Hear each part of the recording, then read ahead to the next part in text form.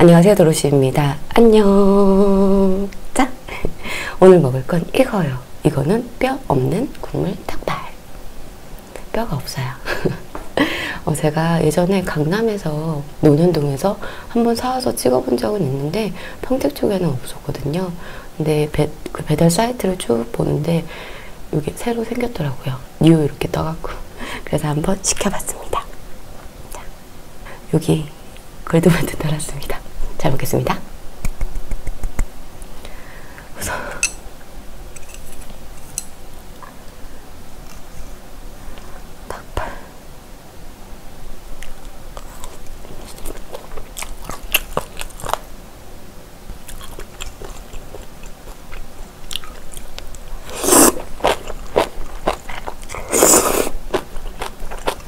음.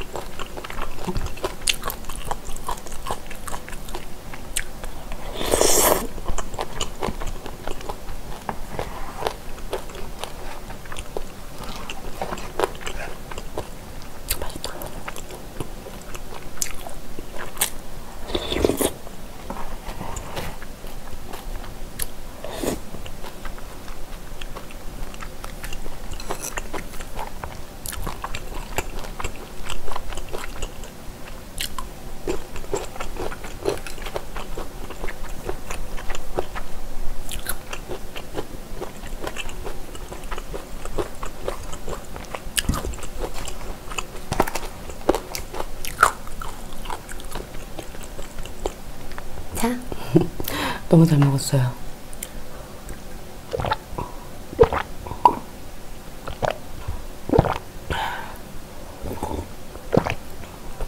닭발 양도 괜찮고 많고 숙주도 굉장히 많이 들어가 있네요.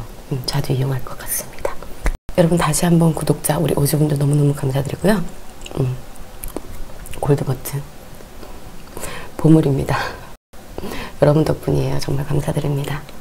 저 가볼게요. 안녕. 오즈 사랑해요.